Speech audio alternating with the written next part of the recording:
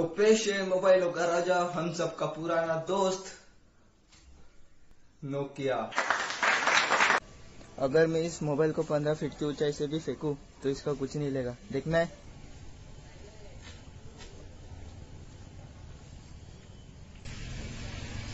तो इतनी ऊंचाई से फेंकने के बाद भी एक भी क्रैक नहीं आया इस मोबाइल पे।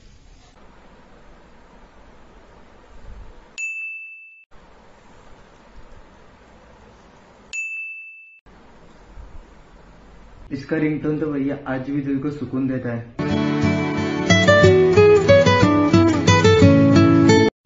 और अगर नोकिया के वाइब्रेशन की बात करें तो ये 2000 वोल्ट का झटका दे देगा। बताता हूँ।